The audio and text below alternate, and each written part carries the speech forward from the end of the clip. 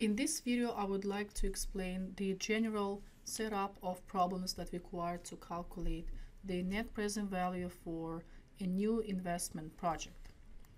Uh, let me show you uh, the cash flows that need to be calculated on um, a timeline. Uh, let's say this is our timeline. This is year zero, which is today. Then we have year one in the future, year two in the future, dot, dot, dot, and the final year, last year, um, in which the project would be ended. The first thing we need to calculate for each year separately is how much profit we would make that would be our money for us to put in our pocket. This is known as the operating cash flow. Um, let me actually change the color to blue. Um, operating cash flow. Year one, year two, um, all the way through the last year, operating cash flow. Uh, that's the first step. Um, so operating cash flow, operating cash flow, let me write it out, is essentially um, what profit means. So it's the same thing as profit each year. Now, how do we calculate it? Which cash flows do we put together and how in order to find that number? Um, the formula, there are actually several formulas. Um, my favorite is the one that gives you the answer the fastest, uh, which is known as the depreciation tax shield approach. For that, you take the revenue that is given for um, that year, you subtract the costs. Uh, sometimes it's the same number for every year, which makes things easier because you'll get the same OCF for every year of your project. Then you multiply by 1 minus the corporate income tax rate, which could be, let's say, 30%, 40%. And then you separately add the term known as the uh, depreciation tax shield, which is equal to the annual depreciation amount multiplied by the corporate income tax rate again. Then um, the second thing that needs to be calculated for each year or wherever it's applicable is um, what is known as the net capital spending. Net capital spending has nothing to do with profits from selling the product, whatever it is that the project would involve, but it has to do with the kind of fixed assets that would be needed to make that production happen, such as buying a building, buying equipment, buying delivery trucks, buying laptops, and so on. And uh, it makes sense that this is typically something that would need to be uh, invested right away. And then all that stuff, all those fixed assets would be then sold at the end of the project. And so typically net capital spending is calculated only for year zero and for the final year um, of our project. So net capital spending, NCS, net capital uh, spending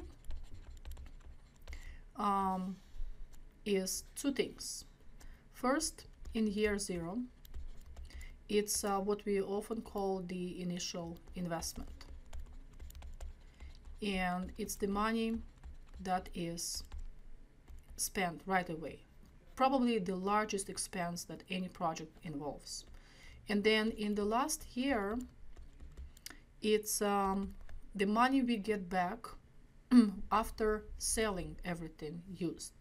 This is known as the after tax salvage value, right? After tax salvage value, ATSV. What is the formula for that? After tax salvage value um, it's the selling price, right? So it makes sense that you sell for some amount of money and you buy buys it and that's it. Well, that's not it. It could be that you might owe taxes if you have been paying too little over time, or maybe you'll have a tax refund. What does that depend on? Imagine you're selling your your um, assets at um, above the uh, book value, how much they're kind of worth in the accounting sense. Then, in a way, you're selling at a profit, and in this case, you'll be asked to pay a tax. And so, what you'll get to put in your pocket, the after tax, sorry, salvage value, will be equal to the selling price minus your tax liability. The tax liability is the corporate income tax rate multiplied by um, selling price minus the remaining book value. Right? Um, let me change the color. So this is another formula that's important. And now, um, oh yeah, so of course there could be the opposite scenario when uh, you're selling your assets for less than how much they're worth on the books. In this case, you will get a tax refund. So we would add the tax refund. The minus here becomes a plus. And then within the parentheses, the two terms become switched. But you don't even need to write down that second formula because it's really the same formula you already have here, just rearranged differently. Okay, and then the last thing that needs to be calculated is what is known as the change in net working capital. So think of what else it, a project might involve. Uh, so we discussed profits that we would be receiving every year, uh, money spent on buying equipment, and then how much we receive when we sell it all at the end. Um, other things might also be going on, such as we set aside cash just in case to cover any unforeseen expenses. We increase inventory. We allow customers to uh, buy our product on credit, meaning there will be accounts receivable, right? Um, which is like an investment because that's the cash that's ours, but we don't really have it. We cannot um, spend it on anything. And uh, all those are examples of what goes into the net working capital category of cash flows. And we need to calculate for each year the change in net working capital, which means the additional amount of money that needs to be invested for those kind of, uh, let's say, small, um, like less important uh, purposes. Okay, so delta, which means change, um, a common notation for change in finance and other um, areas of study. Uh, delta NWC is the change in net working capital. And um, typically this is something that could be, uh, would need to be calculated for every single year. So the important things here are in years 0 all the way through the one before last year, um, it's something that you would be investing, spending money, um, a cash outflow, right? Whereas in uh, the last year, what happens is because the project ends, you uh, we see that all that money that has been invested over the years, so year zero, year one, year two, and so on, up to the last year, but not including the last year, all of that will be recovered.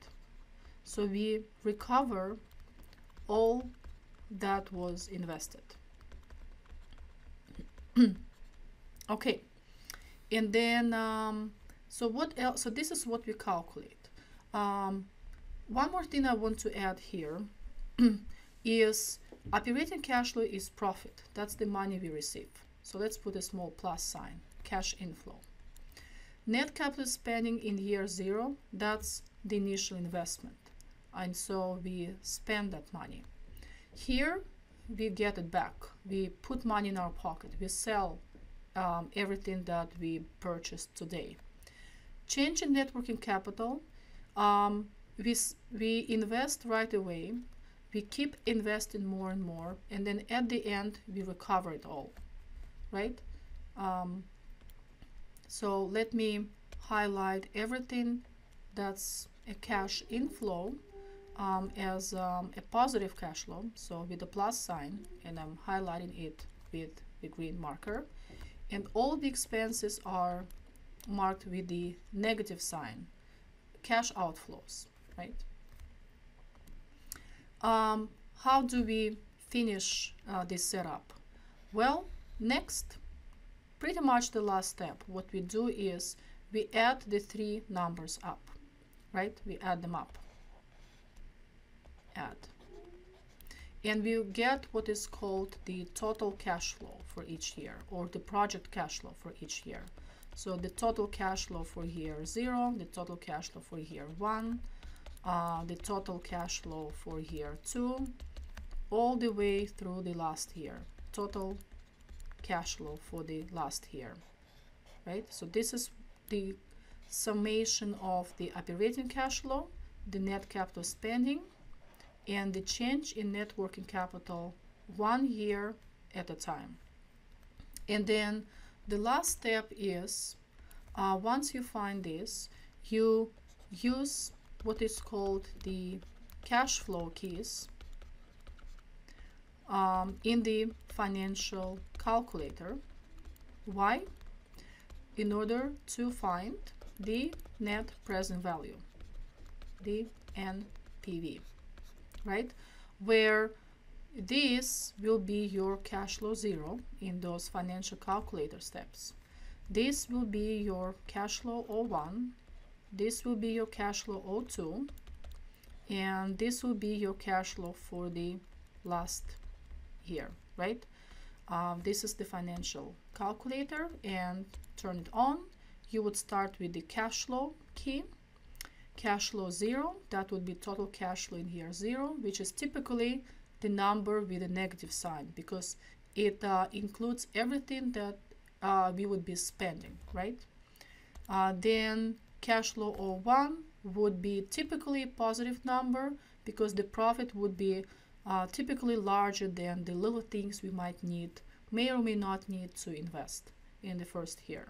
So that would be cash flow 01. And then Cash flow 02 would be the next year's total cash flow, again typically positive. And then you keep adding um, your cash flows, uh, entering the cash flows in the calculator, the last one being for the final year, and it only includes the money that we receive, right? And then you would hit the um, NPV button. It would ask you to enter the I, which is the interest rate, or the discount rate, the number that's always given, and then you calculate the net present value.